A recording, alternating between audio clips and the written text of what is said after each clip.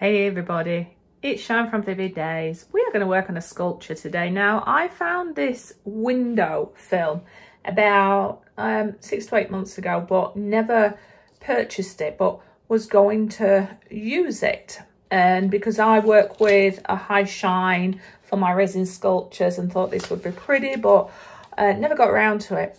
And then I have a wonderful friend called Cheryl who has been requesting that I use some of this in my sculpture because she has seen and was inspired by the wonderful Sandra uh, Lett. So I'll put the link to Sandra's uh, channel in my description. Go give her some love. Say hello from myself. And thank you, Cheryl. As you know, I was Godhead22. I hope I've said that right, Cheryl. Anyway, by uh, subscriber stroke art friend request, I have purchased some and I am going to give it a go, but I'm going to stick true to my sculptures. Uh, so it's freeform. I envisage having three sizes, so uh, large, medium, small. Won't use all that space, but I want to make sure that there's a runoff. And I found the most amazing iridescent uh, crystals. Sorry, that's getting my inks ready for it. Uh, crystals ready to it. So I think it's going to complement it because uh, as you will have seen from uh, people that have used this before, you get this nice iridescent feature throughout it. And I'm hoping that that's going to add value to my um, sculptures that I already do to try and look like gla glass. Um, I've got a shower curtain one that I'm working in the background, but it's got too many creases, so I'm drying that out. It doesn't give a holographic, but it does give a pattern. I'm going to see if it adds value. Anyway, this is uh, the window film that I'm using, so that will be in my description. And I've made sure that my board is level. I've mixed up 300 mils worth of Mastercast one-to-one. And within that, I've already added my Super Sparkle White. So it's got glitter through it. It's been waiting now 10 minutes. It's still quite cool, so I've got the timer for another five minutes. The bubbles are rising, and I've already added that Super Sparkle White in there. And the colours of choice, slightly different to one I've done before, but we're going to go with the rose, the clover, the tangerine, and these are a epoxy resin pigments, and these are the Decorrom ones. Uh, beautiful transparency. Grape, turquoise, and mango. Now I'm hoping that those colours are going to give that transparency and that feel of the glass and then hopefully this will add value to it. But who knows, it's the first time I've used it in this. I know that there are other artists out there that have used this. Uh, so make sure you go out there, give some love. But I just want to, I've not watched their videos of how they do them, just so that I am not influenced by them currently other than material. And I want to stick true to my style, my art, my way. But I will go over after this and give them some love also.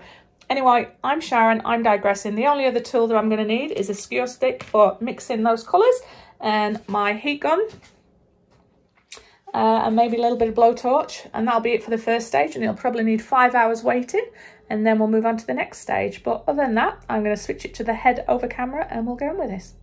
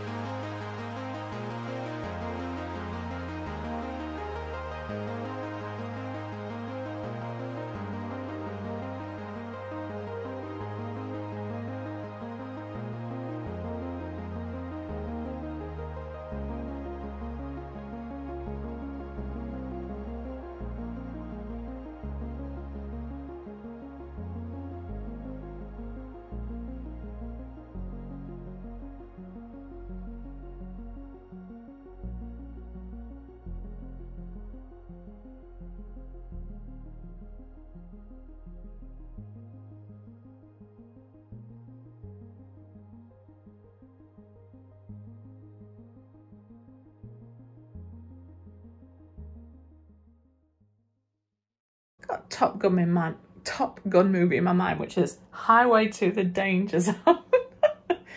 Um, I always make a mess here because I put a lot more crystals on around the resin to create a dam because as it keeps leaking I want to make sure it gets absorbed into those edges beautifully and then I know that the leftovers I can just scoop together and reuse them the only thing you see is that I have to do it delicately because I don't want if I pick it up wrong I don't want them falling into the work but I also don't want to fall them falling onto the other one anyway I'm Sharon, I'm Digress. I do not know so far if this paper is going to add any value to my usual sculptures because it's on the inside out. And I decided to do it that way so that when you're looking into the bowl, hopefully you will see that beautiful pattern coming through. But I love these colours and I love these crystals because depending on um, what colours underneath, it really does capture that colour and bring it through. So there's going to be no clear edges on this one, which is what I normally do. However, there definitely is bling and I think it's added value to these colours. Now, I'm really happy that that yellow did come out. And it almost reminds me of like candy floss and unicorns and fairies and I don't know, like a, a world of pure imagination.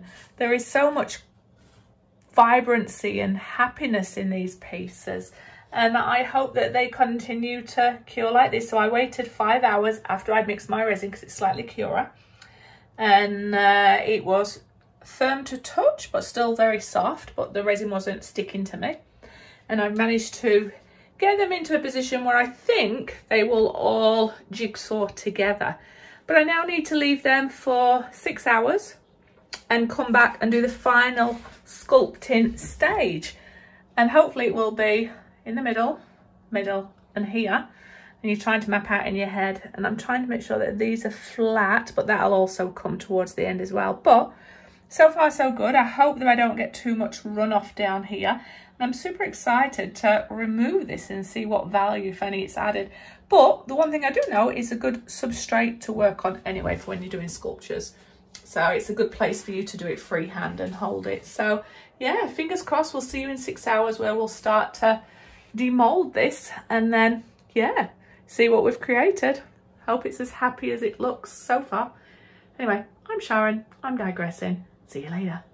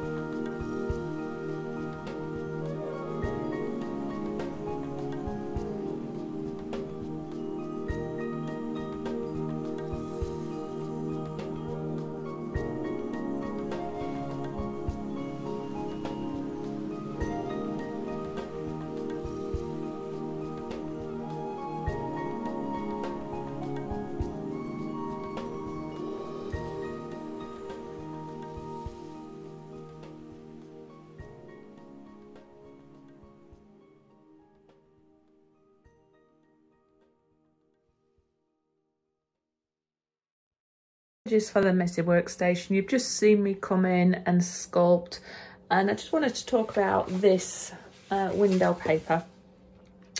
So it actually came off slightly harder than the other materials that I used it did come off. I didn't lose anything. There's just bits I've got to remove and not too many creases in it so I will be able to reuse it again. I've not been able really to see the benefits of using this yet because it's in the final stages of setting. So it needs to stay like that overnight and then I'll be able to assess if it's had this nice little um, shine to it and rainbow uh, coming through from the iridescent sort of window etching. But loving what I'm seeing so far as far as these colours, how they've bled and all the jewels.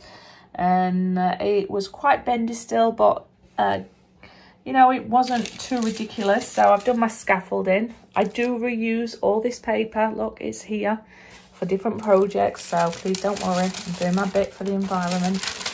Um, but yeah, it's just a matter of waiting and seeing overnight. I did contemplate twisting that bit, but I think I want that part to stay true. And I might be able to see if I'm getting sort of that rainbow um, glass effect. Um, yeah, just going to leave this overnight, make sure that it's all level. I've made sure as well that I can get in here and remove the tape because that's something that you need to think when you're working outside in like I did with my middle piece, obviously centre and then the middle, or am I trying to say it's very late, uh, that you can actually remove this masking tape when it's time because uh, it's all inter interweaved. So let's hope that we have produced a fairly interesting sculpture. Something's just flipped off there, so I need to make sure that that's reattached. The reason I put that around the middle is just to help pull it together a little bit when I've got my things where I want to be. And this is what I just need to hang around for to make sure things like this don't happen. Otherwise your sculpt will set in a place that you don't want it to be. But I'm Sharon, I'm digressing. Let's uh, see you in the morning.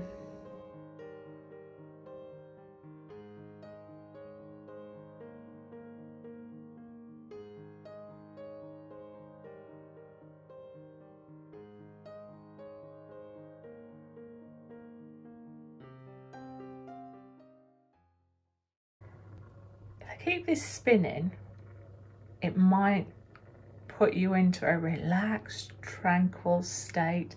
This is so cool. Neil got me this for uh, a part of a Christmas present. And it's basically a turning table, as you can see.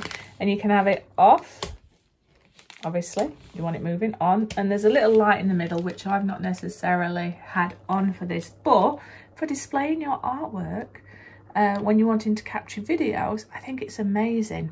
Anyway, I'll turn my light off because I don't need it. So I will do my best to try and show you um, the holographic. So as it comes through, you can see bits of rainbow hitting it.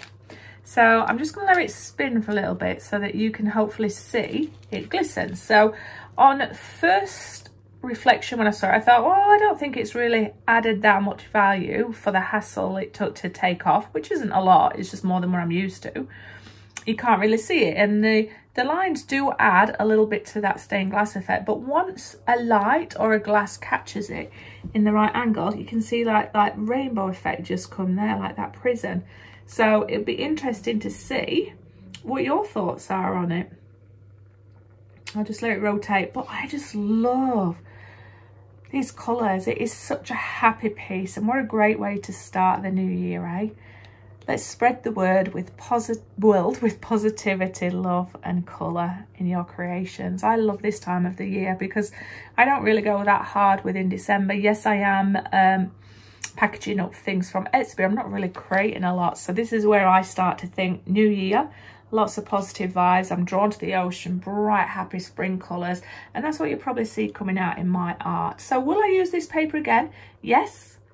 I'll try it with some subtler colours and you might see some more of the uh, prism effect coming out or those rainbows. But it does capture beautifully. And I love these iridescent um, stones I've got. And when you've put them at the top there and it just blends in with the colours that's underneath, it's yummy and I'm really happy with my three layers. You can stick at one, you can stick at two, you can stick at three. This one didn't take a huge amount of resin, 300 mils. Um, I had one bag of gems and I've still got three quarters left, so it's not taken a lot. The colours are brilliant and yeah, you can see some of that. Um, try and shine, shine my torch over it so you get to see if this is in a window or um, where there's a light, some of the different effects you're going to get as you're passing by. It's sort of beautiful rainbow effect just then. So it's not all the time, it's very subtle. It's like my super sparkle white that's in there. But I think you have to say it's a bright, happy piece. I love it. I'd love your thoughts on it.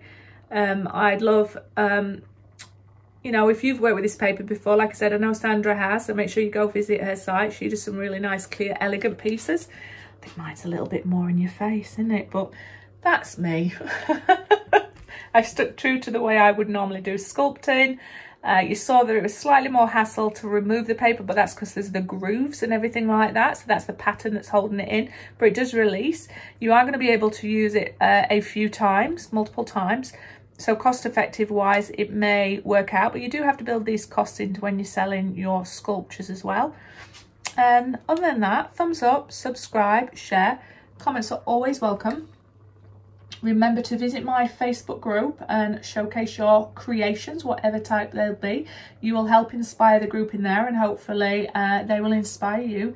And visit my Etsy store. I'll start to add some more little treasures there. Again, some of my older work will be going up there in the next couple of weeks. I'm trying to work through my back catalogue. And if you are a lover of the sculptures, I'm sorry I've sold out. I mean, it's a good problem to have, but I will look at creating some more uh, uh, the only problem is you can't 100% ever replicate anything, but I'll stick true to some of the colours that people are requesting. Anyway, I'm Sharon, I'm digressing. Merry Christmas, oh not Merry Christmas, we've already done that. Happy 2021. May all your wishes and dreams come true. I wish you nothing but health, happiness, love and creative juices to keep creating out there. Anyway, I've just gone off and digressed and you're probably all asleep now uh, with this. But yay, I think the project's a winner, but I'd love your thoughts. Anyway, see you on the next video. Bye bye.